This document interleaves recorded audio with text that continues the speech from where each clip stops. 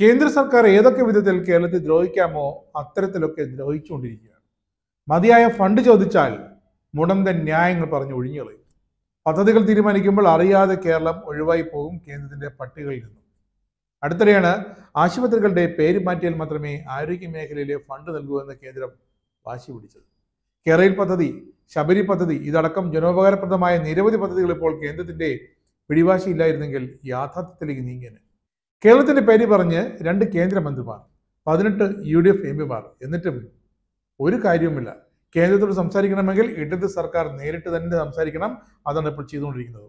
ഇതാ കേന്ദ്രത്തെ വിശ്വസിച്ച് ഇറങ്ങിത്തിരിച്ച ആശാ വർക്കർമാർ ഇപ്പോൾ പെരുവഴിയിലായി. പക്ഷേ അവരങ്ങനെ അങ്ങ് കൈവഴിയാൻ ഇടത് സർക്കാരിന് സാധിക്കുകയുമില്ല. കേന്ദ്ര സർക്കാർ ഫണ്ട് അനുവദിക്കാത്തതിനെ തുടർന്ന് ശമ്പളമില്ലാതെ ദുരിതത്തിലായ നാഷണൽ ഹെൽത്ത് മിഷൻ ജീവനക്കാർക്ക് സഹായവുമായാണ് ഇപ്പോൾ കേരളം എത്തിയിരിക്കുന്നത്. എൻ എച്ച് എമ്മിനും ആശാപ്രവർത്തകർക്കുമായി അൻപത്തഞ്ച് കോടി രൂപയാണ് ധനമന്ത്രി കെ എൻ ബാലഗോപാൽ ഇപ്പോൾ അനുവദിച്ചിരിക്കുന്നത്. പദ്ധതിയിലെ കേന്ദ്ര വീതം നിഷേധിക്കുന്ന സാഹചര്യത്തിലാണ് എൻ എച്ച് എം ജീവനക്കാരുടെ ശമ്പള വിതരണം അടക്കമുള്ള കാര്യങ്ങൾ അതിനായി നാൽപ്പത്തഞ്ച് കോടി രൂപ അനുവദിച്ചത്. ആശാ വർക്കർമാരുടെ ഇൻസെന്റീവ് വിതരണം അതും മുടങ്ങിക്കിടക്കുകയായിരുന്നു. അതിന് പത്ത് കോടിയും സംസ്ഥാനം നൽകി. കേന്ദ്ര പദ്ധതിയായ ദേശീയ ആരോഗ്യ ദൗത്യം എൻ എച്ച് എമ്മിന് കേന്ദ്ര സർക്കാർ ഫണ്ട് അനുവദിക്കാത്തത് മൂലം ജീവനക്കാരുടെ ശമ്പളമടക്കം കഴിഞ്ഞ ഏതാനും മാസങ്ങളായി മുടക്കത്തിലാണ്.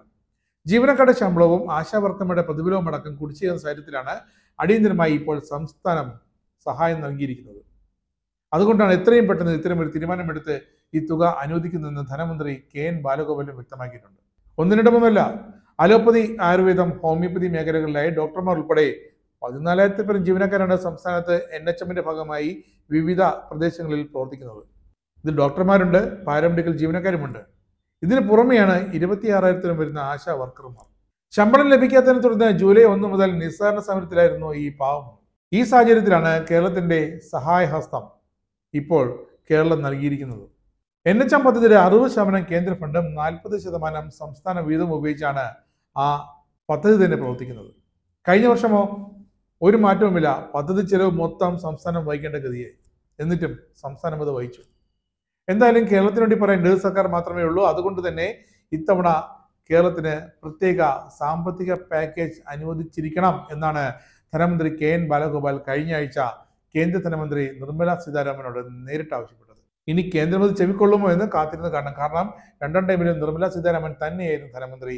അപ്പോഴാണ് കേരളത്തോട് ഈ ഒരു നിഷേധാത്മക നിലപാട് കേന്ദ്രം കൈക്കൊണ്ടത്. ഇരുപത്തിനാലായിരം കോടി രൂപയുടെ പ്രത്യേക പാക്കേജ് ധനമന്ത്രി നിർമ്മല സീതാരാമനോട് ചോദിച്ചിട്ടുണ്ട്. കിഫ്ബിയും പെൻഷനും ആ ഒരു പേരിലെടുത്ത കടത്തിന്റെ പേരിൽ സംസ്ഥാനത്തിന്റെ കടമെടുപ്പ് പരിധി കുറച്ചത് ഓരോ സാമ്പത്തിക വർഷത്തിലും നാലായിരത്തി എഴുന്നൂറ്റി പത്ത് കോടി രൂപയുടെ നഷ്ടമാണ് നമുക്കുണ്ടാകുന്നത്. കടമെടുപ്പ് പരിധി കുറച്ച ആ തീരുമാനം കുറയ്ക്കണമെന്ന് തന്നെയാണ് കേരളത്തിന്റെ ഇത്തവണത്തെ പ്രധാന ആവശ്യം. അതിന്റെ പേരിലാണ് കേരളം സുപ്രീം കോടതി വരെ യുദ്ധം ചെയ്തത്. ദേശീയപാത വികസനത്തിനായി കേരളം നൽകിയ ഇരുപത്തഞ്ച് ശതമാനം പദ്ധതി തുക അത് സംസ്ഥാനത്തിന് അനുവദിക്കണമെന്ന് മറ്റൊരു ആവശ്യവും ധനമന്ത്രി ഉന്നയിച്ചിട്ടുണ്ട്. വിഴിഞ്ഞം തുറമുഖത്തിന് ചോദിച്ചിരിക്കുന്നത് അയ്യായിരം കോടി രൂപയുടെ അടിയന്തര സഹായമാണ്. കാരണം ഈ വരുന്ന ഓണക്കാലത്ത് വിഴിഞ്ഞം പ്രവർത്തനക്ഷമമാക്കാൻ പോവുകയാണ്. ധനകാര്യ കമ്മീഷൻ ശുപാർശ അനുസരിച്ചുള്ള കേന്ദ്ര വിഹിതം മറ്റ് പദ്ധതികൾക്കുള്ള തുക ഇതെല്ലാം അക്കമിട്ട് നിരത്തി അനുവദിക്കണമെന്നാണ് സംസ്ഥാനം ഇപ്പോൾ കേന്ദ്രത്തോട് ആവശ്യപ്പെട്ടിരിക്കുന്നത്. ഇനി കേരളം കാത്തിരിക്കുകയാണ്. കേന്ദ്രത്തിന്റെ തീരുമാനം എന്താണെന്ന് അറിയാൻ ഇപ്പൊ വലിയ പ്രതീക്ഷയൊന്നുമില്ല. പക്ഷേ കഴിഞ്ഞ തവണത്തേതുപോലെ കേരളം കേരള വിരുദ്ധ സമീപനവുമായി കേന്ദ്രം മുന്നോട്ട് പോവുകയാണെന്ന് അതാണ് അറിയേണ്ടത്. ആ കാരണം അത് അറിഞ്ഞിട്ട് വേണം കേരളത്തിന് വികസന പദ്ധതികളുമായി മറ്റ് ബദൽ വഴികൾ തേടാൻ. അതിനിടവരുത്താതെ കേരളത്തിന് അർഹമായ ധനം അർഹമായ സാമ്പത്തിക വീതം അർഹമായ പദ്ധതി വീതം ഇതൊക്കെ കേന്ദ്രം ഇത്തവണ ബജറ്റിലൂടെ അനുവദിക്കും എന്ന് തന്നെയാണ് ഇപ്പോൾ സംസ്ഥാനത്തിന്റെ പ്രതീക്ഷ. അല്ലെങ്കിൽ കേരളത്തിന് മറ്റ് പോംവഴികൾ തേടേണ്ടി വരും.